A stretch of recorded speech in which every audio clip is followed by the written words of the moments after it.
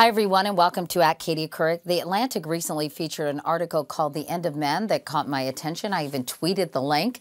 It stated that this year, for the first time, women became the majority of the U.S. workforce, and most managers are now women. And for every two men who received a college degree, three women did the same thing. And according to the article, many moms to be would rather have a pink nursery than a blue one. So have we come a long way or are there still big obstacles on the road to equality? Joining me today are two women with a lot of expertise in the area. Gloria Steinem is a writer and journalist who is the godmother of the modern women's movement.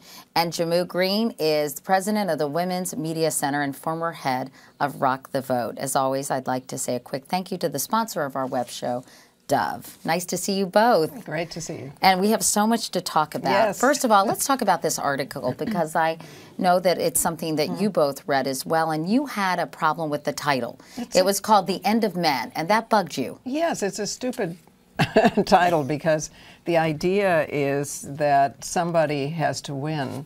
They can't even imagine equality.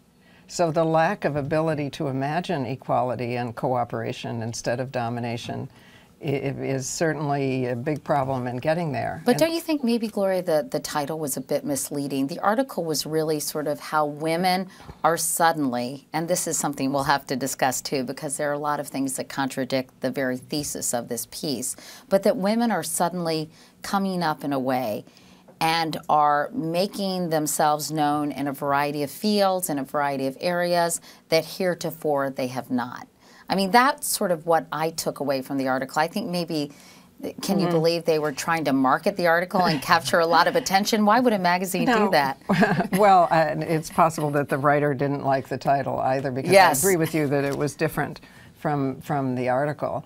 Uh, but the idea that women are almost now the majority of workers in the labor force is a marker. It's true, but it doesn't tell us that they're still earning 25% less and they're still much likely to less likely to get promoted.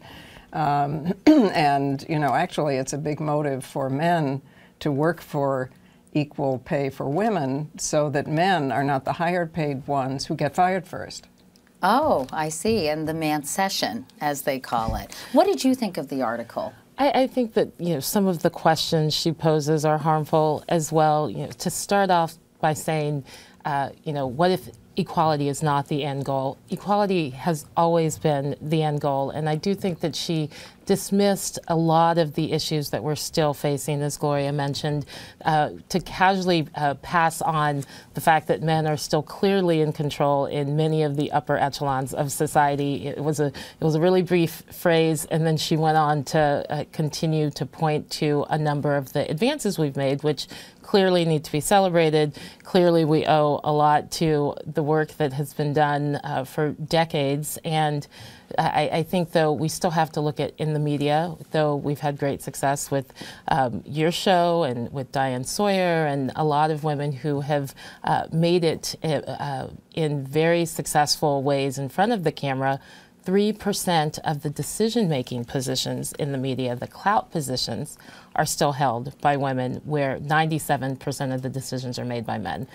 But there's a lot of work to be done. You know, in fact, I think what was confusing for me when I read the article, I thought, well, this is a lot to celebrate. And then I uh, would read sort of other pieces, and Anna Quindlen came and gave a speech in Charlottesville uh, for a luncheon in honor of my sister Emily, who passed away. Mm-hmm. That's a scholarship fund for girls in Charlottesville, and and she brought up some very um, antithetical points to the piece. But before we mention those, can I just talk about mm. some of the good news real quick before we totally become Buzz Killington, as my daughter says?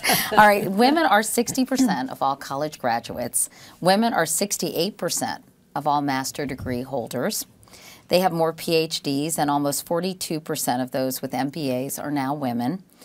Um, so there are some good things. As we mentioned, they are the majority in the workforce, but let's talk about some things that are not so good. Because. Well, but even that is not so. I mean, it, it's great that, that women are educated. I couldn't agree more because it gives you pleasure in your life. but part of the reason that women need a BA degree or a college degree is that even with one, they make less than a man with a high school education because they can't become plumbers and electricians or they're less likely to get into the trades that pay a lot even without a college education. Which is an interesting point. But let, us talk about some of the negative things and, and why these sort of statistics still exist. Now, the, this is according to the White House Project, which I'm sure you all are familiar with. Women account for only 18% of our top leaders in all fields. In politics, uh, Anna mentioned this in her speech, in female representation, the U.S. has dropped to the 69th spot behind Iraq and North Korea, which I found so shocking. In 1993, women were 12% of partners in law firms. Today, it's a whopping 18%. Only 17% of Congress is made up of women. Women make 78.7 cents for every dollar a man makes.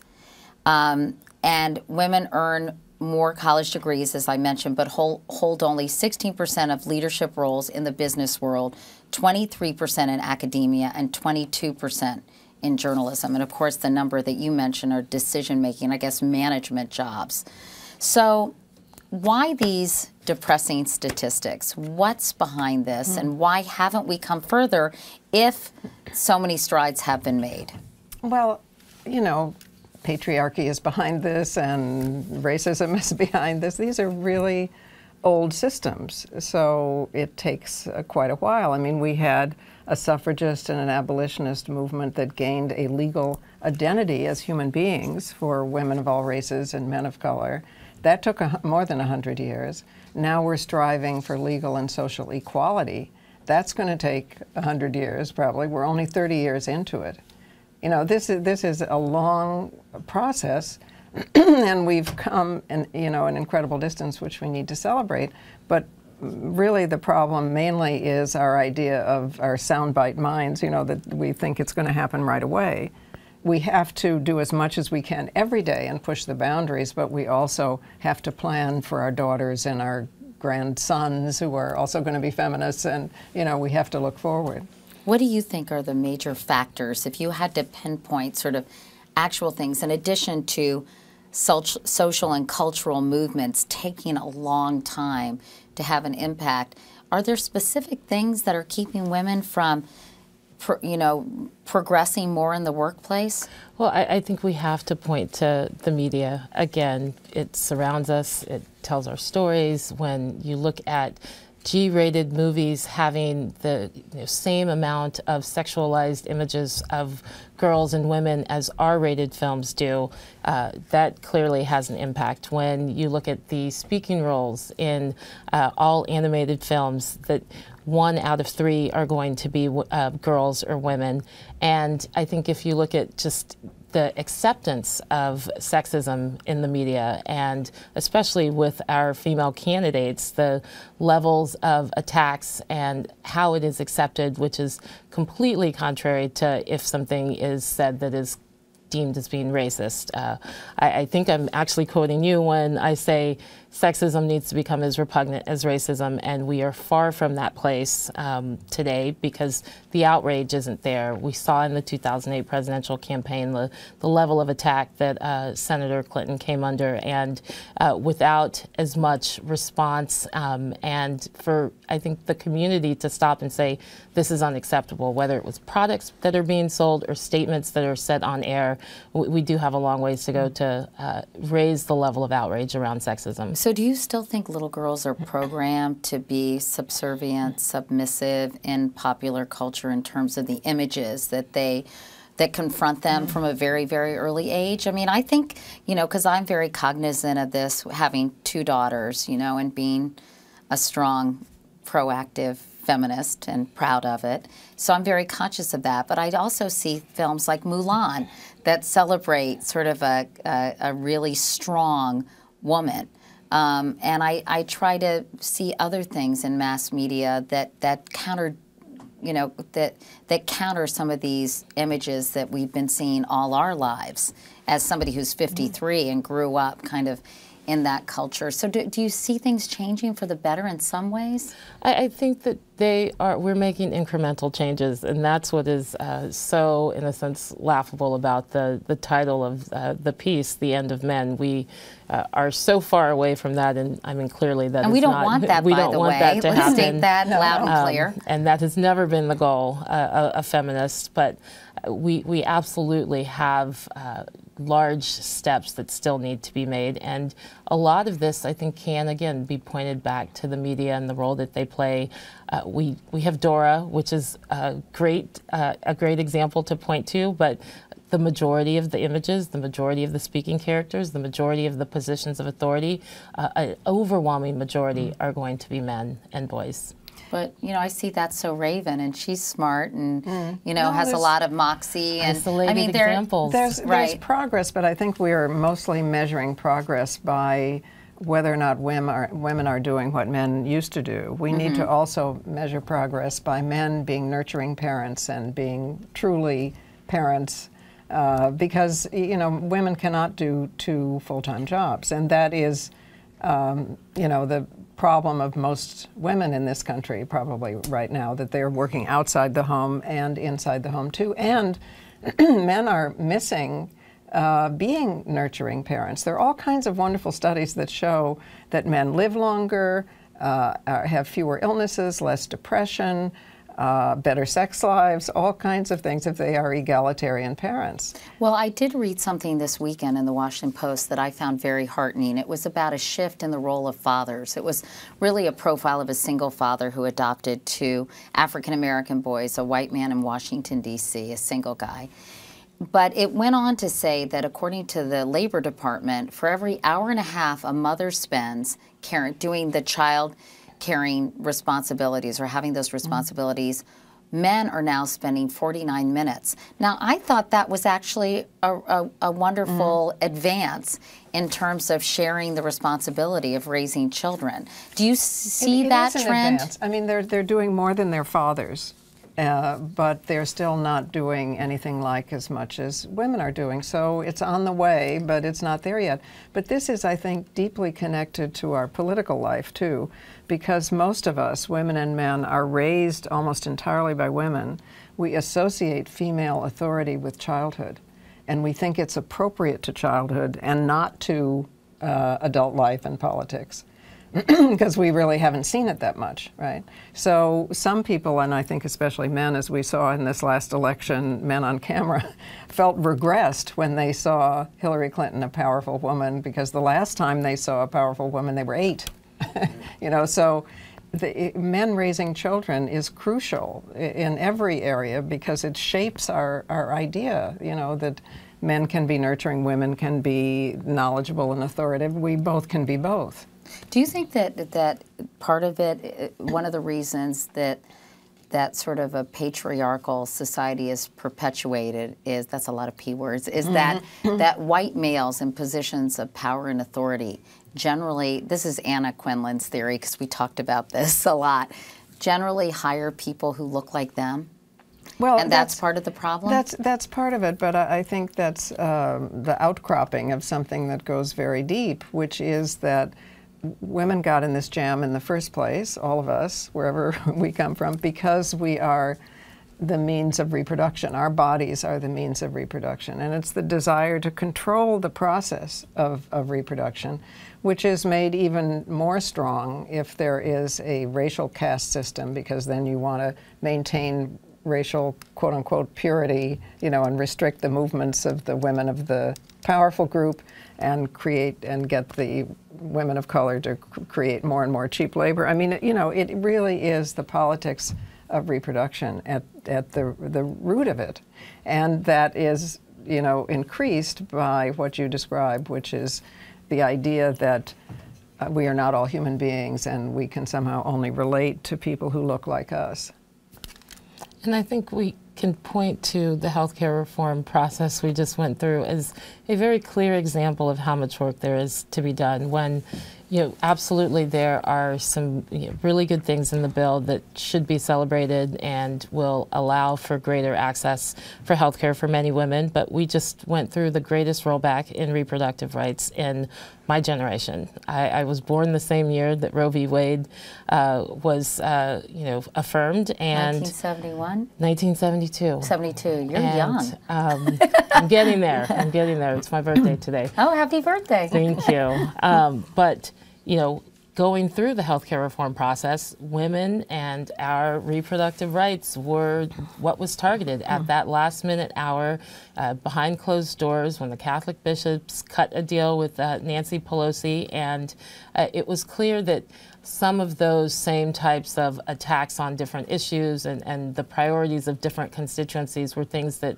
uh, were not agreed upon. But when it came to which constituency was going to, I think, be, be hit the most, um, we, we did just take a real, Yeah, real even big though even head. though the majority of Catholics in public opinion polls didn't agree with what the bishops were asking for, that no and federal even though the funds be nuns came used. for, yeah, even though nuns came for, so you Was know, that it- just an extension, though, of the Hyde Amendment, which basically said no, No. federal funds could be used? No, it was it was it went further than than the Hyde Amendment, and the Hyde Amendment should be repealed. I mean, it, it you know it, it was challenged in the Supreme Court, and if there'd been more women at the time on the court, we wouldn't have ha- had the Hyde Amendment because it penalizes poor women terribly. Um, but you know, I think we need to understand if we get the politics of reproduction we're not so mystified by what happens. For instance, sometimes on campus, um, students will say to me, Well, why are these right wing groups both against contraception and lesbians? you know, which they find bizarre. And I say, But, you know, it's not bizarre. It's rational because they're against any form of sexual expression that doesn't end in conception or that can't end in conception. So those are the same. Those are condemned by the by the same groups, even though it might seem irrational. Since we're on the, the subject of reproductive rights, can you be a conservative feminist? Sarah Palin recently, I think, rankled some traditional feminists by calling herself a feminist. And despite the fact she doesn't espouse many traditional feminist uh, points of view. Well, I mean, we're free to call ourselves whatever we wish. Um, uh, but um, I think her calling herself a feminist has mostly to do with how many votes Hillary Clinton got in the, the presidential race because, yes, you can be a feminist who doesn't in, uh, agree with abortion, would never have an abortion, but you can't be a feminist who says that other women can't and criminalizes abortion. One in three American women needs an abortion at some time in her life. To make that criminal and dangerous is not a feminist act, and that is the position of Sarah Palin. Do you And agree I- with that? I, I think that most feminists uh, do not make their voting decisions based on our reproductive organs. It is about the issues, and uh, are you, you know, promoting the sentiment, the values, and our rights that are clearly important. And um, I, I would say that Sarah Palin uh, does not represent many uh, of those same sentiments. In what way? I mean, why? Well, clearly, she wants the government to intervene uh, in family planning decisions and to uh, have the government come into uh, my home or your home and make medical decisions for us. And uh, that, to me, is uh, goes absolutely against any feminist principle I, I grew up learning. So both of you would say you cannot be against abortion morally for for an entire population or Yeah, for an entire be for- country and be considered a yourself, of and be considered a And it- feminist. And, in fact, the, the women's movement has gone to the same lengths to keep women who did, from being pressured into a, abortion uh, as we have to try to keep it safe and legal. So it is about that that particular freedom of choice. But you know, she can. She can call herself anything she wishes. She can't say that Susan B. Anthony, however, was against abortion, which is what they say. There's absolutely no evidence of any statement that Susan B. Anthony ever made against abortion, and they just are not telling the truth about this. But there are other female candidates. You know, it was interesting to see everyone herald this most recent round of primaries as the year of the woman. And um, they're certainly talking about women of a variety of political ideologies. Do you applaud these women who have progressed on, uh, you know, uh, uh or climbed the political ladder, even if their views, like Carly Fiorina, for example, um, I'm not sure how Meg would, Whitman feels about reproductive well, rights. Well, but they, I mean, you know, Carly's position on tax taxation would deprive women of child care and so on and so. So, but I mean, they're free to. I defend their right to be wrong, right? but they have an absolute right to be wrong. But the reason that they are being put forward is that the women's movement has been so successful. So there are some people that when they're on your side, you know you're winning. And I would say, you know, that that's what's happening here. They saw how well Hillary Clinton, the Republican Party saw how well Hillary Clinton did, and uh, is now fielding female candidates. But the good news is that this is an electoral po- process, and people are smart, and they can look at the issues and understand. Uh, you know, it's it's much more difficult when it's an appointment, like with Justice Thomas, you know, who also was put forward because of the civil rights movement, even though he didn't represented on most of the issues, but he could be appointed. Uh, this time, you know, with an electoral process, we get to look and see what the issues are. And just as as more men than women supported Sarah Palin the last time, I suspect it may happen again. And I think I think it's great to actually celebrate a time as we're getting closer to a time where it will be unremarkable for two women to be running against each other, for women to be in all of the presidential debates. I think we've taken some very significant steps in uh, the last cycles to make sure that it is unremarkable. Now, um, how again those issues play out in for those candidates, I think, is what is going to determine if they're successful or not. And we've seen so many years of the woman, uh, as they've been called in 1984. It was a year of the woman, and 1992. 1992, but in 1984, uh, many women won in primaries and then lost in the general election cycle. And I think that that is because when voters go into that polling booth, when women go in to, to cast those votes, they're not voting on, again, reproductive organs. They're voting on where you stand on our rights, the same set of you know feminist sentiments, and you know are you for pro-equality, as Gloria mm-hmm. says? And I, I, think that that will be a challenge for many of the conservative women who are trying to mm-hmm. uh, tap into the success of um, we need Secretary feminist Clinton. men, and we do have feminist men. You know, one. But there are a lot of women who like like conservative women. It's not as yes. if people who are going to vote are only going to vote no, for right. liberal candidates. There are many women out there who who relate to and appreciate and applaud the politics of someone like but, Carly Fiorina or Sarah Palin or a variety about, of other Republican It's not about biology. Women. It's no, about, no, no. I'm, yeah. I'm not saying no. I know, but I mean, I mean those those those women, if they have access to information about the issues, uh, and where these women stand, which is against squarely against what most women need and want and say they need and want in majority public opinion polls. So you know, the, if if if they still vote for them, they're voting against themselves, which is quite tragic to me. On the other hand, I read recently a Gallup poll showed 48% of women identify themselves as pro-life, 45% as pro-choice. But this, um, but this is because of the terms. You, you know, pro life. What does that mean? I mean, there are, we all wear buttons that say, "A woman's life is a human life." You know, so you know, if if you if you ask the question the way it should be asked, without those confusing terms, which are quite backward, uh, which is who makes the decision, a woman and her physician or the government? The huge majority, over 60%, say it should be the woman and her physician, physician, not the government. And that's the point.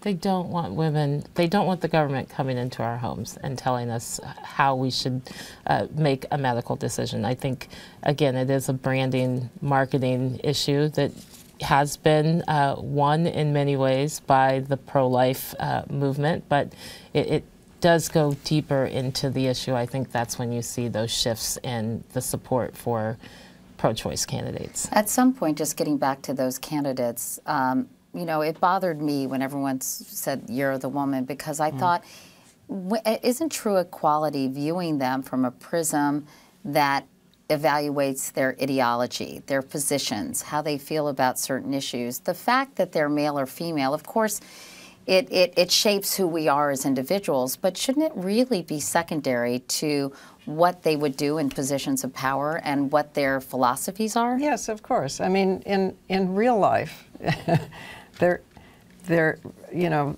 race is a fiction that, that, I mean, we all came from the same place in Africa and we just got adapted to climate wherever we went. So race is a fiction. Gender is a fiction, you know. So we're trying to get to the point of shared humanity, absolutely. That's the whole idea. So it's just as important to me, and I have, uh, you know, worked for uh, male candidates who really were feminists and against female candidates who were not. Let me ask you a, a, somebody who asked a question on Facebook because we solicited those because we're trying to be very, you know, modern here. Jacqueline uh, Koch says on Facebook, do you think that feminism is still considered a bad word today? I think the term used to really get a bad rap, but today it seems things are beginning to level out. Well, what I mean, obvious, obviously, Sarah Palin calling herself, if I, it's interesting to me because is Rush Limbaugh going to call her a feminazi like he calls me? You know, what? obviously, feminism is winning, otherwise, these women wouldn't be calling themselves feminists. So, the truth of the matter is that in public opinion polls, more women consider themselves feminists than consider themselves Republicans, evangelicals, or even Democrats. I thought it was worth just saying, reminding people what the definition of feminism is, because when I looked Yes, at feminist, thank you, it right. says a person whose beliefs and behaviors are based on feminism. So, Mm-hmm. looking at feminism, the doctrine advocating social, political, and all other rights of women equal to those of men. Hard to argue with that, Mm-hmm. yeah, not it? but it's been demonized, you know, by the Rush Limbaughs of the world who say feminazi and so on. So if people go to the dictionary and see what it means, then I think, you know, most folks agree, men too. Having And said think that, if you though, look I'm sorry. at the millennial generation and what is so inspiring about you know the younger generations that are coming up is they are the most diverse. They are the most tolerant generation this country has ever seen, and a lot of these issues around uh, you know putting feminism in a silo in the way that Rush has tried and other folks have tried are, are going to be pushed back from these younger uh, generations. At the same time, don't you sort of feel like feminism, the movement, has lost a bit of steam? That you know, I know that I did. I didn't find the statistics, but of course, you all, more than Mm-hmm. anyone, are familiar with young women of a certain age, basically eschewing the whole notion Mm-hmm. But of feminism and, and and not considering themselves feminists. Well, they're more. I mean, the if you say women's movement, I agree that that that the word feminist has been demonized, even though it has you know a huge number you know of adherents. You know, but uh, if you say women's movement. Uh, it's it's oh it's 90% of young women versus about 70% of older women who say that they support it. So it's actually more younger women than older women. And that is the power of social media. If you spend any time on Twitter or, or on Facebook, the to see the level of connect, connections that are happening and the organizing that's happening and just the medium in and of itself um, is very attractive to women and I think allows us to, in this changing media landscape climate, to really use social media as a way of continuing to rebuild or continue to build the movement. And that's where I think you're getting those numbers as far as 90% younger women who will engage and call themselves a part of the women's community. So, women's so movement. you think it's a it's, it's a misconception that many young people don't consider themselves feminists? yeah, I themselves think it's, feminists? it's part of the idea that the movement is over. You know, I mean, first the f- opposition first takes the form of you can't do that. It's against biology, God, Freud, something. You can't do that, right? Uh, it's not necessary. It's impossible. And then the second form of opposition is, well, it used to be necessary, but it's not anymore. And we're in that stage. So I think the uh, you know, actually, I think young women should sue for libel, you know, because they are so distorted in their real views, you know, by this idea that they're they're, you know, they don't support their own equality. So you don't think there's any merit to the argument that sort of feminism is out of step with modern American women? No, no, because I travel all the time, so I'm preserved from that. I mean, I'm on the road most of the time. Because I think you Right. hear that argument increasingly, as you know. I think it's really been around and circulating for the last five to ten You know. Time magazine, I think, has declared the women's movement, feminism, dead 27 times. you know, so this is declaring us dead is part of the opposition. But actually, it keeps growing and growing and growing, you know, in, in real terms. Jehmu, there's a, a Twitter question that has to do with sort of the sexualization of women. Um, actually, I wanted to ask you because we're almost out of time, but you know, I get bothered uh, by sort of how women are increasingly, and maybe it's my imagination, maybe it's because I'm getting older and I have two daughters, but the objectification of women seems to be so in your face mm. these days, whether it's with artists, rap stars. Um, you know, that's kind of a, a, a tired argument, but it's still very prevalent in pop culture. And even in the way women are presenting themselves, um, it seems to be, um, you know, they'd rather be viewed as hot than accomplished. And is there any any any method to my madness here? And do you sense that in popular culture as well? I, I think clearly there is a, a, huge problem with the sexualization of girls and women in the media, and we talked a, a little bit about the you know images that are you know funneled into girls from very young ages and G movie, G-rated movies. I think that though when you when you ask the questions to especially high school students, which is something we've been doing at the Women's Media Center, there is uh, an ability uh, from a media literacy standpoint that many of these young women have to where they are starting to separate those images um, from their reality. And, and, I think social media is contributing to that media literacy. I think uh, a lot of the conversations that are going on right now with high school girls are pushing back against those sexualized images, and, and that is a, a real opportunity for growth within the women's movement to to push back against those images. But, but at the end of the day, it's not being mm. generated by young women. It's not being. It, it's not but even necessarily it being is. generated. Like I look by, at Sarah McLachlan, you know, who but if I, it is, more power to them. You know, yeah. I mean, because you know, feeling one's being proud, being body proud, having uh, control or feeling power in, in sexuality, there's nothing wrong with it. I mean, in a generalized way, the cultures that require women and girls to cover up their bodies are worse for women than those in which women can uncover their bodies. So I think, you know, some of it may be age because uh, for me, say I grew up in a time in which to be uh, overtly sexual was dangerous mm-hmm. because you got to be the wrong kind of, you know, then anything could happen to you. Um, so we may fear for young girls who are actually expressing their sexuality and have a right to. But I do think that if you look at rap music in particular, that there are decisions being made in uh, small executive offices by mostly white men about the images that they want to see their artists producing, and uh, especially how. Uh, they show portray African American young women is problematic. But again, I don't think that is uh, being driven by the artists or driven by the community. Uh, in many ways, that's driven from a purely profit um, centered uh, reality uh, of these executives. And that is where we're seeing a lot of young women uh, finally finding their voice and pushing back against those images. But at the same time, I mean, I do think there is that age old adage that sex sells and that looks matter in our culture. It's a visual medium, our, our, you know. And I was thinking about Sarah McLachlan, who, you know, I, I love as a singer, and I still like her. It's not, I'm holding this against her, but I noticed she sort of transformed her image to be more in keeping with what a modern pop star mm-hmm. should look like. Well, especially in the music world, because now singers are so young. You know, I mean, I mean, like if you're 22 and you're trying to enter the field, you're considered old. So uh, the question, I think, is whether she did this out of her own free will or whether she forced into it. Yeah. Was whether someone it. said, "Hey, if you yeah, want to be more think, marketable, you need to sex right. yourself and, up and a little." And that's really the question, and it's not always easy to figure out. But it's very important that we tune into ourselves and find the inner authority to say, what is I really want, and then do it. I mean, I must say there's one advantage of being a member of the wrong group, which we all are here, which is that nothing you do is exactly right. This frees you to do whatever you want because you really come to the conclusion that there is no right way for a wrong group, if you know what I mean.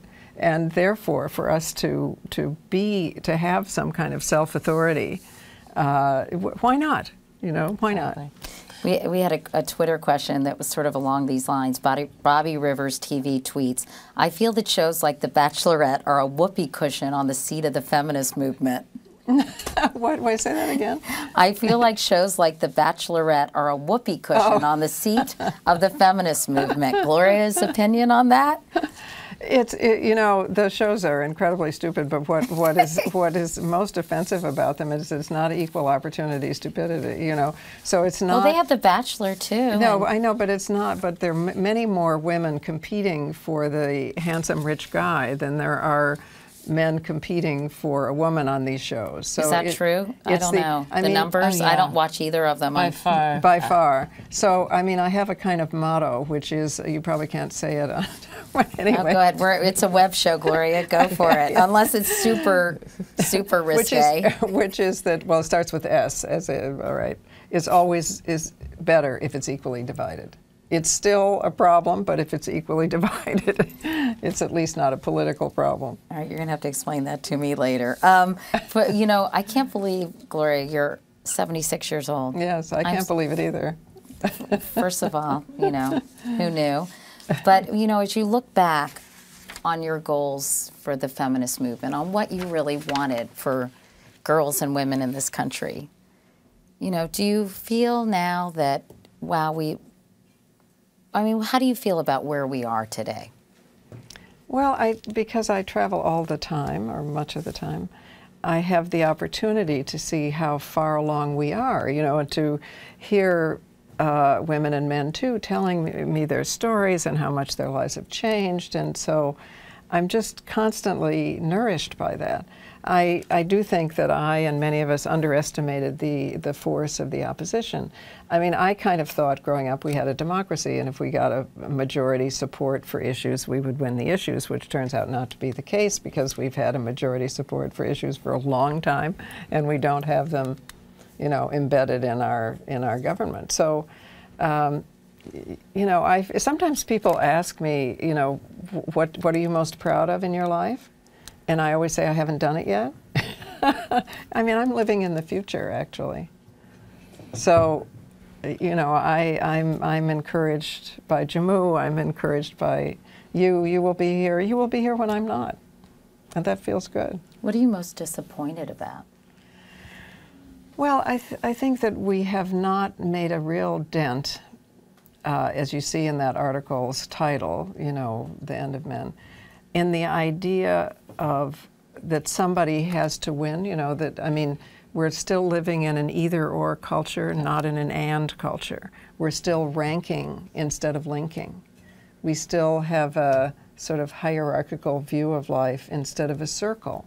And actually, for most of human history, we've lived the other way. It's been about ranking, not, it's been about linking, not about, we've, the circle was the paradigm of society we can get to it, but I'm most disappointed that it's not part of discussion. That, for instance, the media still views objectivity as being even handedly negative and doesn't really report that much on solutions, and especially does reports on things that are equally that are divided. I noticed that in Japan they discuss uh, important issues with at least three people you know, and that's like a drink of water in the desert, you know, to think there are three different views instead of only two fighting with each other. And there should be, and in the case of most issues, there are seven sides or 14 sides or, you know, and I'm disappointed that we don't have the imagination of cooperation, equality, community, that we're still in this old paradigm. Do you think that's because the nascent uh, feminist movement was in some ways based on anger, outrage, uh, and and the desire to help women progress that was threatening, so threatening to the status quo that it, it that it almost positioned the sides against each other instead of a more mm-hmm. conciliatory mm. movement. I mean, is that just the way no, movements we, are born? If you asked me what we did wrong, I would say we were much too nice. Really? Yeah, because then we were trained to be nice and plump pillows and say, you know, we've been much too nice. And the, the idea of our being threatening doesn't come from our being threatening. It comes from the idea that a normal male female relationship is 70 30 or 60 40, so 50 50 feels threatening. We've always been talking about 50 50. I think, though, what inspires me and, and gets me up every morning is the fact that to understand that there are more people, young women, men, who identify as feminists today than did back in 1970. And, and that in and of itself shows that we are continuing in the right direction. And also the fact that this next generation, they actually, I feel, see it as an and proposition versus the either or. Mm -hmm. and, and, that's what, it, those are the you know future leaders. Those are the uh, future heads of uh, corporations. Those are the future media uh, experts. And, and that's what I think we can all look forward to is that we do have an opportunity to move away from the combative style to showing that it is all about pro equality and it's not about one side winning over the other. Well, I could talk to you guys for another hour, but we could I, talk to you. unfortunately, uh, we're not really out of time. But you all have to go, and I have to go as well. But Gloria Steinem, it's always wonderful to talk to you, and Jehmu Greene, thank you so much for coming in. It was fun having you, you, part of our discussion, and maybe we continue continue it in the hallway because I want to ask okay. you all a few other things. And thanks to all of you for tweeting in your questions. And remember, you can follow me on Twitter if you dare. My handle is at Katie Couric. And now stay tuned for a message from our sponsor, Dove.